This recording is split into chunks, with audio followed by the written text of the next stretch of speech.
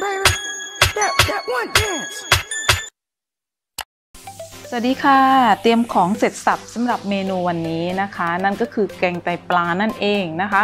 วันนี้ปลานะคะก็จะใช้เป็นแทนที่จะเป็นปลาย่างก็ใช้เป็นปลาทูนึ่งแทนนะคะ ผักก็ใช้ฟักทองแล้วก็มะเขือนะคะ เตรียมก็จะมีไตปลาแน่นอนนะคะพริกแกงเผ็ดใต้นะคะกะปิมะขามเปียกนะคะ ตะไคร้แล้วก็ใบมะกรูดนะคะ วันนี้เดี๋ยวก่อนอื่นเราต้องต้มไตปลาก่อนนะคะ เพื่อลดความคาวนั่นเองแล้วก็มีเศษ เป็นเศษเกล็ดปลาหรืออะไรเงี้ยที่อยู่ในไตปลานะคะ จะได้กรองออกไปด้วยนะคะ เดี๋ยววันนี้มันมีเคล็ดลับในการแกงไตปลาไม่ให้เค็มด้วยนะคะ ส่วนใหญ่จะหลายหลายคนอาจจะกังวลในเรื่องของอาหารใต้หรือว่าเมนูใต้เนี่ยนะคะ มักจะแบบมีรสเค็มใช่ไหมคะ หรือแกงไตปลาก็น่าจะเป็นอันดับต้นๆที่จะแบบมีรสเค็มนะคะ เพราะฉะนั้นวันนี้พันจะมีเคล็ดลับในการแกงไตปลาไม่ให้เค็มด้วยนะคะ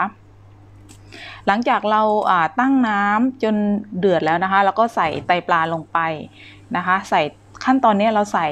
ไตปลาลงไปในน้ำที่เดือดแล้ว แล้วก็ใส่อย่าลืมใส่ตะไคร้แล้วก็ใบมะกรูดนะคะ เพื่อลดความคาวด้วยนะคะ หลังจากน้ำเดือดอีกครั้งหนึ่งนะคะ เราก็กรองนะคะ ขั้นตอนนี้เราจะกรองเฉพาะน้ำอะนะคะ เศษที่เป็นไม่ว่าจะเป็นตะไคร้ใบมะกรูด หรือเศษที่เป็นเกล็ดปลาอะไรอย่างเงี้ยเราก็ทิ้งไปเลยนะคะ หลังจากนั้นเราก็ใส่ผักที่เตรียมไว้นะคะ ผักวันนี้ก็ใช้เป็นฟักทองแล้วก็มะเขือเหมือนที่บอกจริง ๆ แล้วแกงไตปลานะคะ ผักเราใช้เป็นมันฝรั่งก็ได้นะคะ เคยกินแบบมะเขือดิอ่ามะ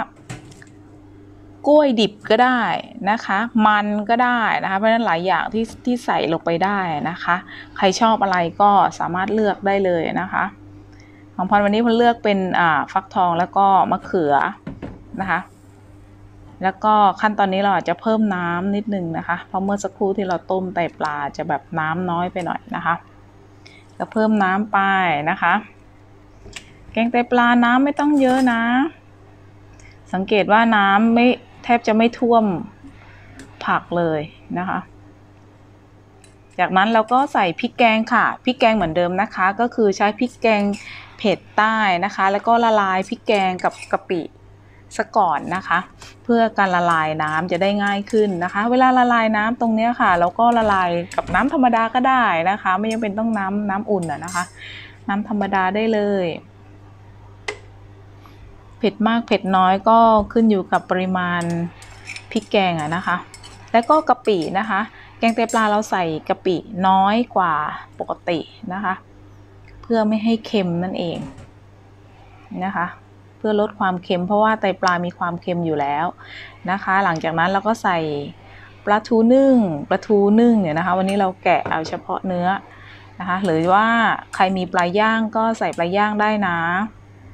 หลายคนอาจจะแบบเวลาไปซื้อเป็นแบบ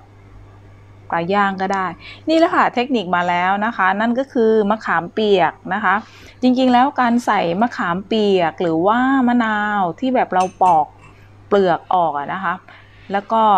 กรีดเขานิดนึงใส่ลงไปเพื่อลดความเค็มนั่นเองนะคะ วันนี้พลเลือกเป็นมะขามเปียกนะคะ เพราะมีมะขามเปียกอยู่ก็ใส่มะขามเปียกลงไปหน่อยนึงนะคะ ตั้งไฟอีกสักครู่หนึ่งเพื่อให้น้ำเดือดแล้วก็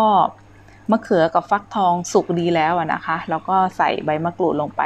วันนี้ใบมะกรูดแบบเล็กมากนะคะ ข้างรั้วเรานี่เองนะคะ ขอให้มื้อนี้เป็นมื้อที่แสนอร่อยของทุกคนนะคะ ขอบคุณและสวัสดีค่ะ